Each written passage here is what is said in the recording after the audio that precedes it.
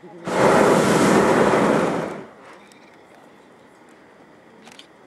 is ook jammer, van die kleuren die blijven hartstikke laag.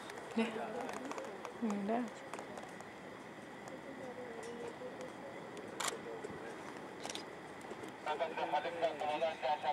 Ja.